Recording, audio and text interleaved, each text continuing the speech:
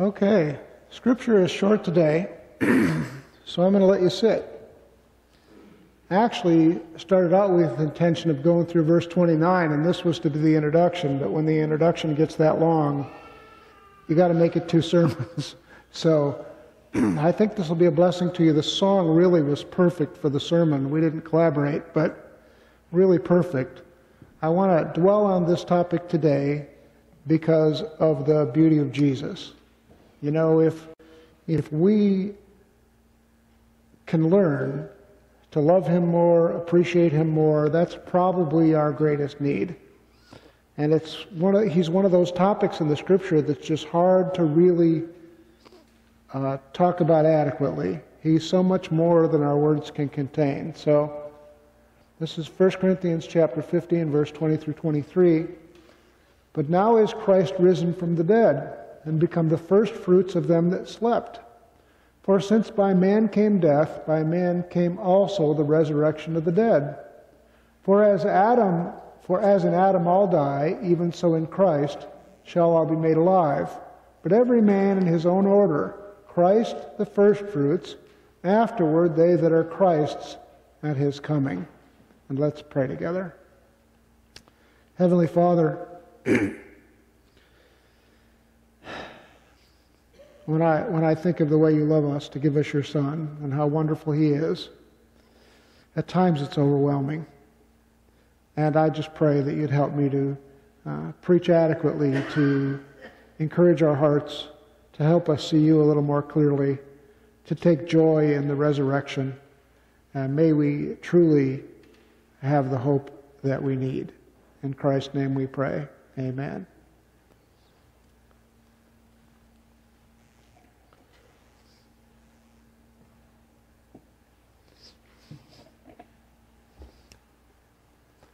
First fruits. What is that all about? This is something that's mentioned often in the scripture. It's in the Old Testament, in the observances of the law, and it's used as an illustration to talk about Christ and the resurrection.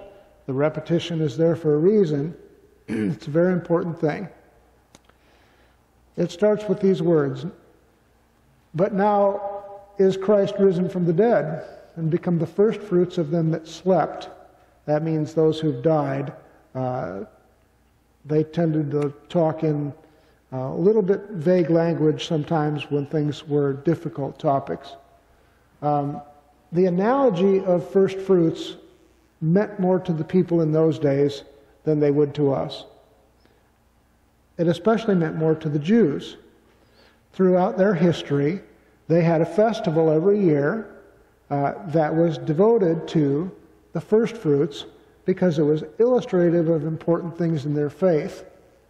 Um, the holiday would indicate God's blessing on their obedience.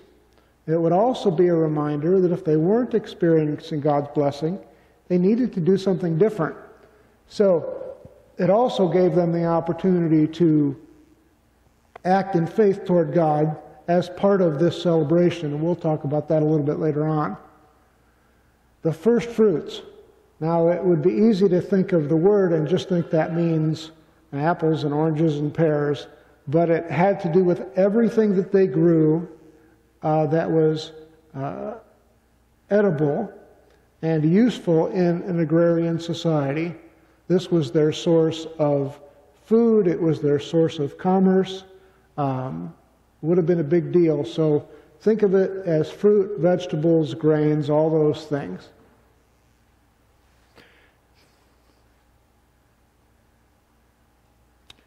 Not only was it an indicator of God's blessing, but it would also allow the people to sample and evaluate the harvest. What came in first was indicative of what would come. If it was a good beginning, then they could relax. If it was a poor beginning, it was likely in their case that uh, repentance was needed. Now, I don't want you to take that directly into, into modern times. God always has His purposes, but we can't always say because there's no rain or because there's difficulty, that's the judgment of God. God acted very directly with Israel, and all those illustrations about Israel are to help us understand how God works in our personal lives. So, don't be upset with the farmers or think the farmers did anything wrong. That's not the point. Um, the first fruit would be a test of how substantial, how flavorful, how healthy, and how valuable the crop would be. They'd actually bring in the first of the harvest and they would prepare it how they were going to prepare it. They would sample it and they would compare it to other years and other times. They compared several things. Was, was it substantial? In other words, did it look like from what was growing and did it look like from what they gathered in their hands that there was a quantity of healthy looking fruit, vegetables, or grain? Did it look like the harvest was going to be good? Remember, in those times, uh, they didn't have all the science and all the things to keep track of. It was all visual, and they had to figure it out. When I was a clothing salesman in Naperville, one of my customers was Max Armstrong. Anybody recognize that name, Max Armstrong? Max Armstrong did the farm report, and he was one of the nicest guys I've ever been around. And that voice that you hear on the radio, that was not modulated by the radio. That was really his voice. And uh, we had a good time talking about farms and farming and farming communities. And sometimes we talk about the technology and we talk about the sandwich fair that he went to every year. And he knew about Sterling and um, he just he knew it all and he was fun to talk to. Um, but he had a wealth of information, even as a radio broadcaster, that farmers in this time would not have had. No access. They had to kind of feel their way along. They had to look around. They had to trust God for everything. And uh, there was no insurance. There was no safety net. There was nothing. It was they and the elements and God. So, was it flavorful? Now, have you ever gone to the store and picked up a piece of fruit and oh my, it looked good? And you got it home and you bit it and it tasted bad. Did you care how many of those there were? No. You hoped that was the only one, especially if you brought a bag full of them.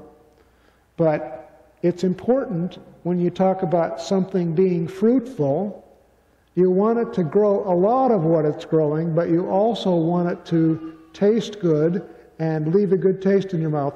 I remember when Jeffrey was in the Navy, he was stationed at Pearl Harbor in Honolulu, and it, because we could stay in his military housing, we could afford to go over there one Christmas, and we did. Stayed for, uh, I think, 11 or 12 days. Strange place around Christmas. I mean, everywhere you go, there's a picture of Santa Claus in a Speedo skiing. Very unsettling as far as I was concerned.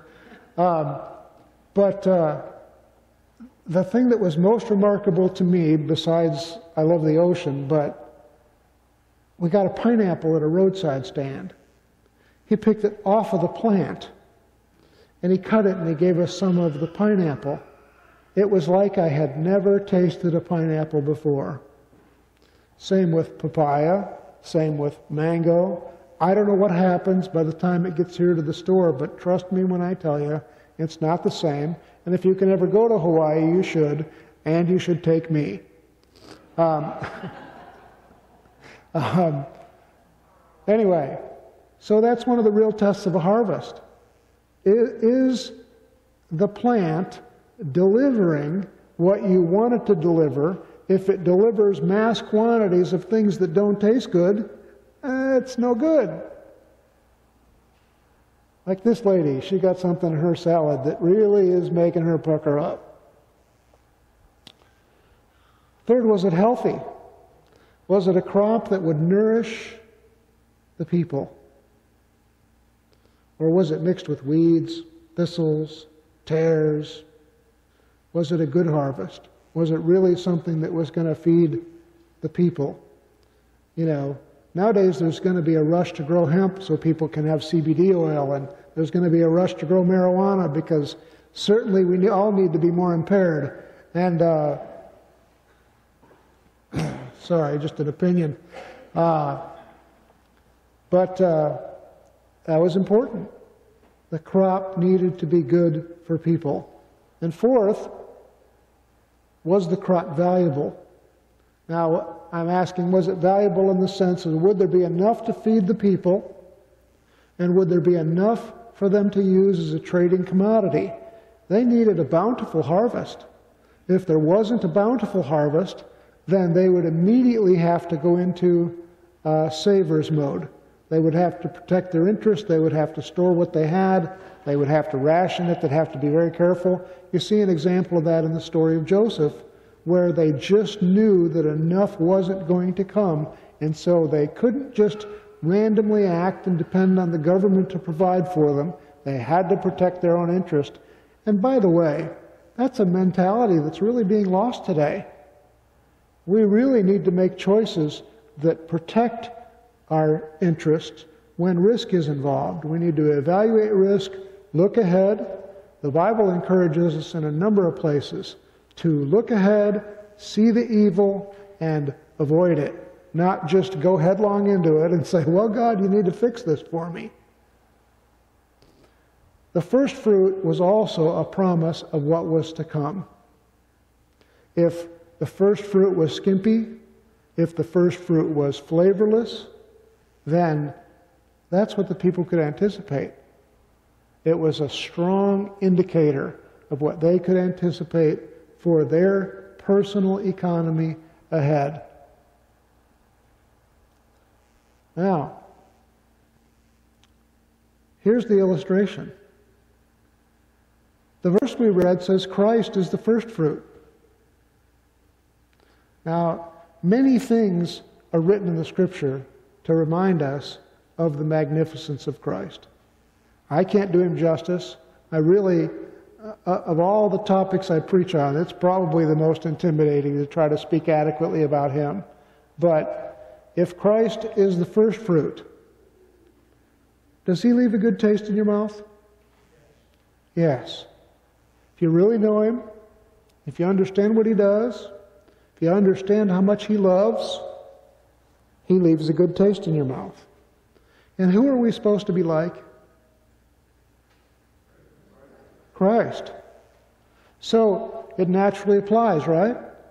We are supposed to leave a good taste in the mouths of others. This lady, she's excited about that apple. Uh, I like the green ones with a little salt. They don't know about you. I think that makes them better. But um, is Jesus substantial as the first fruit? Sure, he is. He's more than enough. He's perfect in every way, even in those ways we don't understand. You know, I have conversations with people all the time. There, there are things in the world I don't understand, and I'm not pandering to anybody to say this, but I don't understand how uh, God allowed women to be so vulnerable in the world. I don't understand. I don't like it. Uh, I don't understand why uh, people needed to go for years without plumbing and running water. The disease and the things must have been rampant. I don't understand. But the bottom line is there comes a point where I have to put that away in my heart and say, the Lord is substantial. The Lord knows, the Lord has His purpose, and someday when we see Him, we will not say, oh, okay, I can live with that. No, we're going to marvel at the wonder and wisdom of what He's done. Now, in relation to those things I can't explain, I don't know how that's going to happen. I just trust that it will. And preachers struggle with those difficult things just like you do. So we shouldn't pretend and be in denial as Christians. Life presents us with a lot of hard challenges. But Jesus is what we need. Does Christ impact our health? Yes. I believe that's demonstrable. I won't go into a lot of detail, but even if you're only talking about the eternal. I said to Eileen this morning, I said, How are you, young lady? And she said, Oh, you must be talking to Linda. I said, No, I'm talking to you. You're 87. What's 87 years to somebody who's going to live forever? You ever think about that? Oh, I'm getting old. Yeah, that's what they tell me. But I'm still 14 on the inside. I'm going to stay 14 on the inside. And when I go to heaven, I'll bet I'm 14. I don't know for sure. But talk about providing health benefits. And then you talk about things like the potential for joy, the potential for peace, the potential for hope. Christ is our first fruit. He provides more than the harvest of grain and fruit and vegetables ever could have. Does Christ prove to be valuable? He's enough to take care of our needs. He's also enough to extend Him to others. I have no fear to say to people, I know you're struggling. I know you're hurting. I know you have adversity. I know those things are very real. But the bottom line is that Jesus loves you.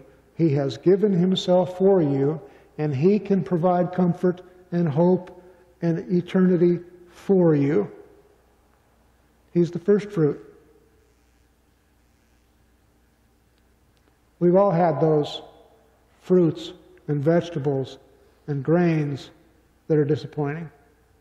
We all know what that is to bite into something with hope and have it not be what we wanted.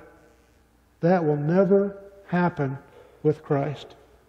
Eternity will continually reveal the wonder of who He is. Eternity will continually reveal the wonders of His love. Now, here's, I think, an exciting question. If Jesus rising from among the dead makes him the first fruit, what should we anticipate from the dead in Christ? Don't be bashful.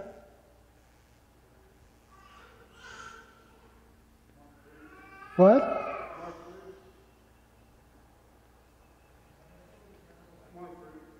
More fruit. What's the fruit?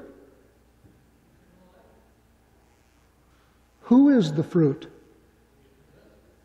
The dead in Christ.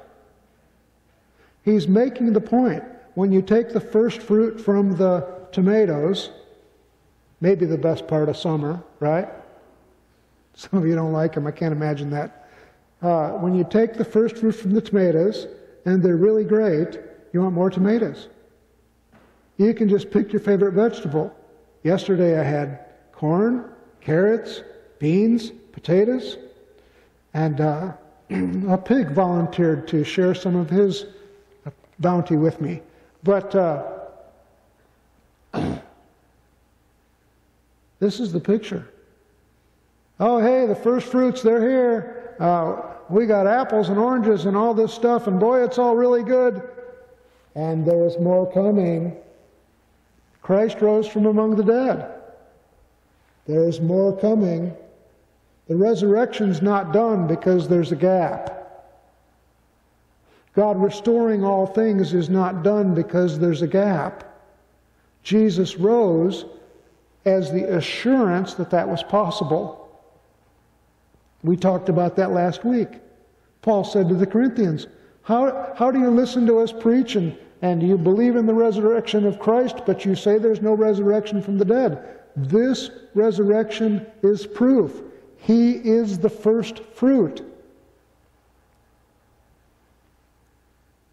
That means you can die and not live in fear of it. How about that? I don't know when Christ is going to return. I believe that he is. I'm surprised he hasn't done that already, quite honestly. But, you know, at 63, I keep looking at every, every day, I look at the obituaries, and every day there's somebody in the obituary younger than me, and I think, how can that be? I think the calendar must be wrong. I can't possibly be this old. But you know what? We sing at the end of the service. no fear in death. Because the reality, the hard, concrete reality, is that Christ rose and we shall rise. The first, first fruits were also celebrated because their choice was and their encouragement was to give to God first. And that's the lesson we always teach in relation to our personal giving. And that standard, you see it throughout the Bible. Remember, Noah gets on the ark with all the animals, some of them by twos, and some of them by what? Not all by twos. All the clean animals went by what? Sevens. If it was a clean animal, if it was a cow, they took seven. Apparently, you didn't know that. They're on the ark for all that time. They get off the ark, and they've got this limited number of animals. They're supposed to repopulate the earth, and the first thing Noah does is make sacrifice of an animal. That was faith, don't you think? I think I would have been tempted to say, wait, wait, wait, wait, wait. That's a ribeye over there. I don't have stand to rely on to, to breed more cows, so we got to protect this nest egg we have.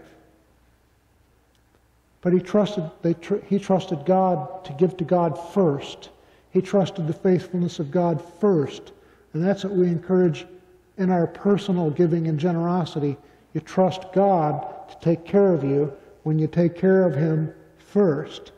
So that's what they did. And that was the encouragement of the Old Testament.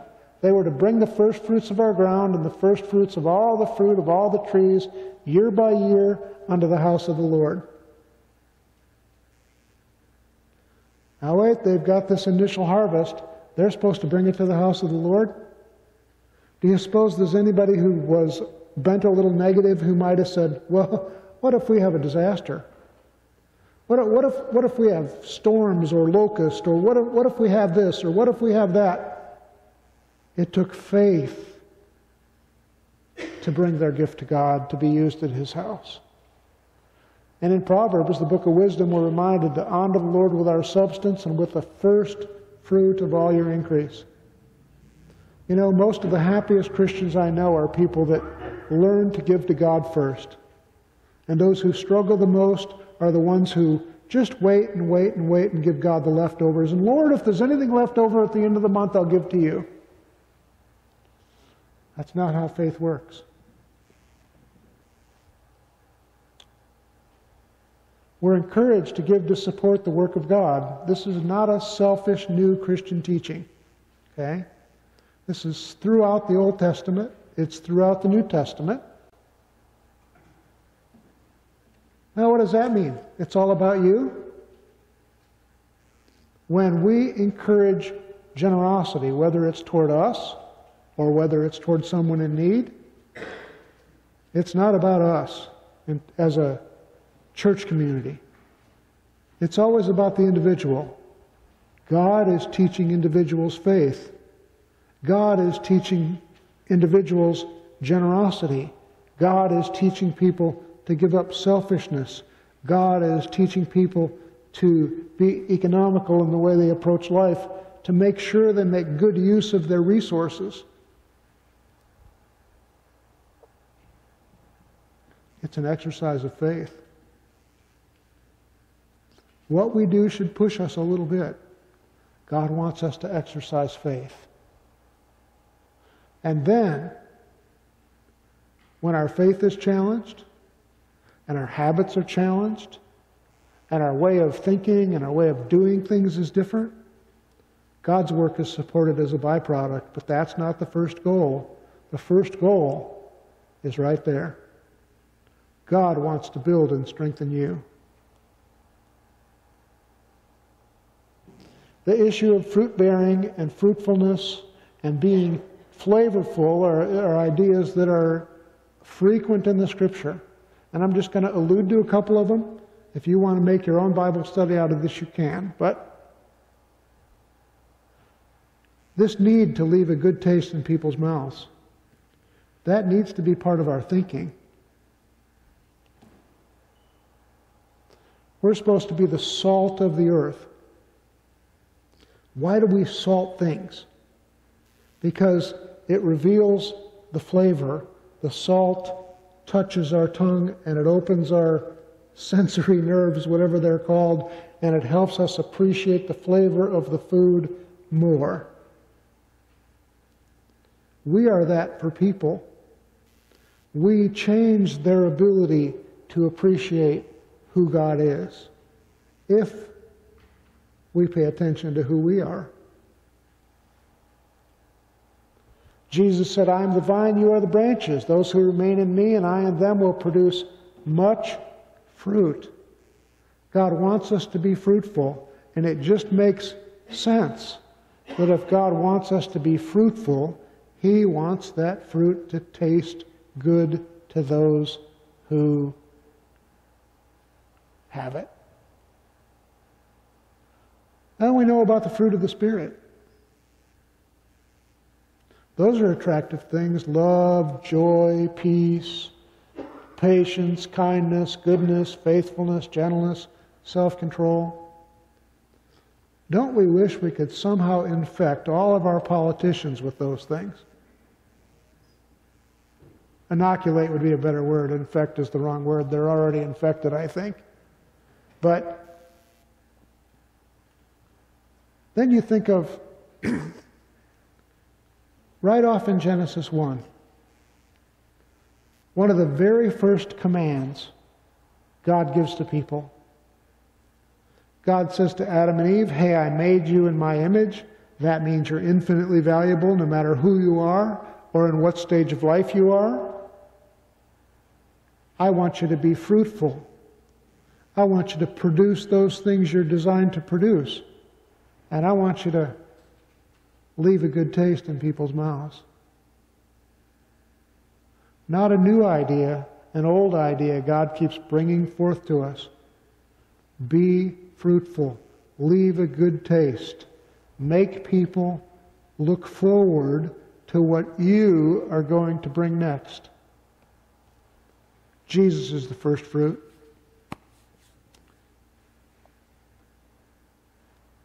If it's true that you will not be disappointed in Him, then you will not be disappointed in the resurrection. If you will not be disappointed in the resurrection, you will not be disappointed in heaven. God and His faithfulness will bring you no disappointment. This is just another angle with which we can look at Jesus. We can look at him as the king. We can look at him as a suffering servant. We can look at him in so many ways the scripture reveals. But in this way, we're really reminded that there's something wonderful to look forward to. He's the first fruit. Let's pray. Heavenly Father, help us from our hearts to have a new and greater appreciation for you. Help us to see the blessing that you are, and help us to be a blessing for others. In Christ's name we pray. Amen.